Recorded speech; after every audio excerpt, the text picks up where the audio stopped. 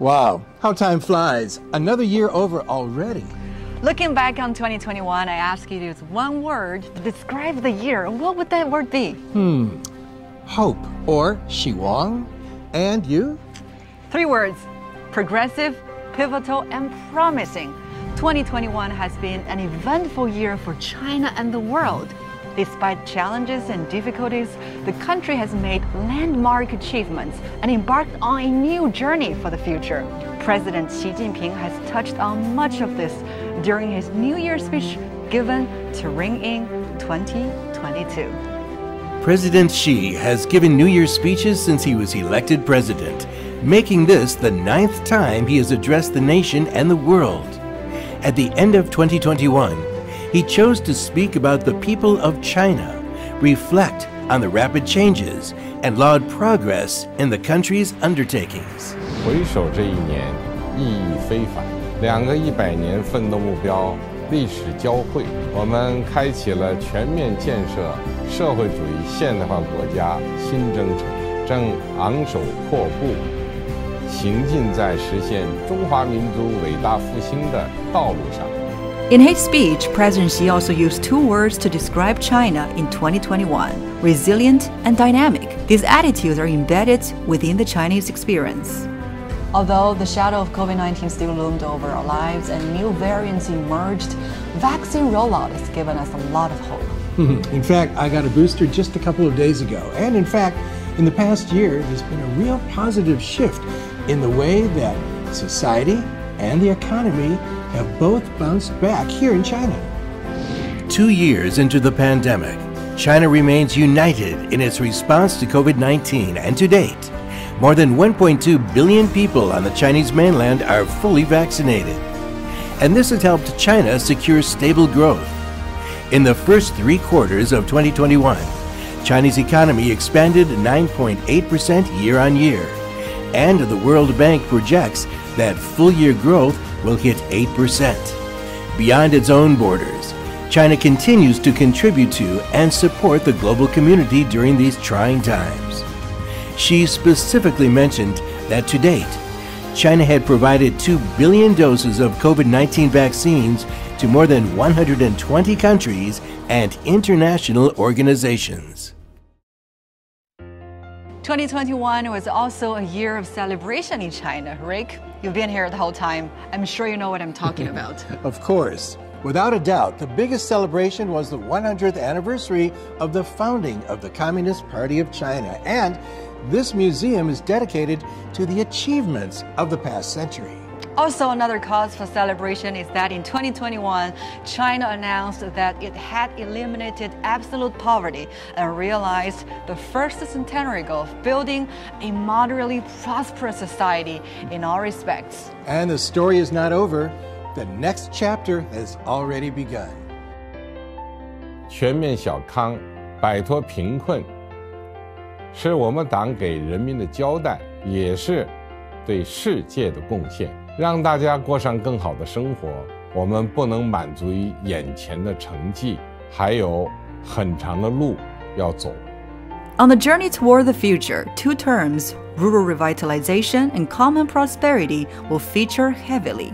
They refer to efforts to make sure that past gains are not undone, and also policies that guarantee a future where everyone shares in the country's accomplishments and developments.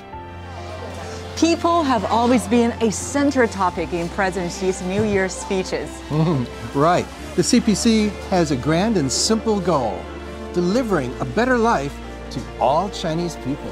In total, over his past New Year's speeches, Xi has mentioned the people more than 70 times. His exact words might vary from year to year, but the tone and intention remains the same, touching and inspirational. 每到群众家中，常会问一问，还有什么困难？父老乡亲的话我都记在心里。民之所忧，我必念之；民之所盼，我必行之。President Xi also recalled many memorable voices, moments, and stories, and expressed special recognition for the hard work and dedication of ordinary people. To the grit and determination of athletes, and to the many outstanding sci-tech achievements of the past year. We might have our feet firmly on the ground right now, but in 2021, in the skies above, some inspiring feats were achieved by China's space program. Like China's first Mars probe, Tianwen-1, which landed on the red planet. Exactly. And China's space station core module Tianhe was launched, and two crew of six taikonauts embarked on missions to construct the space station. Starry, starry night. I love exploration of space.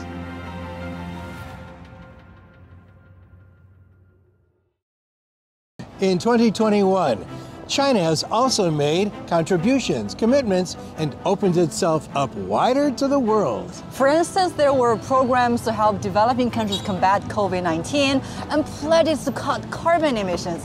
China also hosted international trade events and facilitated a series of favorable policies. Actually, I've been to some of those events and they were incredible. And I've seen how China has honored its words with concrete actions. Over the past year, Xi also attended a series of bilateral and multilateral cloud events, demonstrating China's firm commitment to upholding international justice and promoting balanced, coordinated, inclusive, and green development. Another memorable event in 2021 was the Tokyo Olympic Games. I actually went there to cover it, and I witnessed the sporting history in the making. Wow, Sylvia, that is remarkable because in the course of one year, you're going to see two Olympic Games because February 4th, the Beijing Winter Olympic Games will begin. And are you excited again? Yes, I am, and even more so as we're here at Shougang Big Air. It's one of the venues for the Games. It'll host freestyle skiing and snowboard big air events. Well, the whole world is looking forward to this.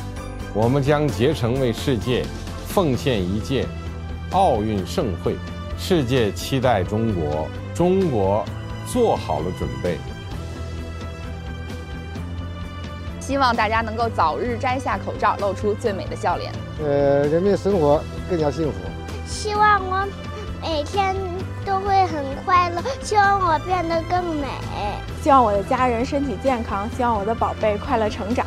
希望有更多的游客来到我工作的地方，来感受天坛六百年的历史文化。我希望二零二二年我可以上小学，学到更多的知识和物理化学。我希望生意越来越好，然后赚更多更多的钱。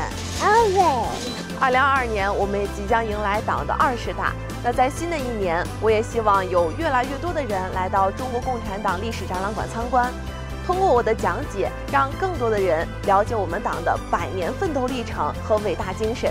让我们一起向未来，祝福国泰民安。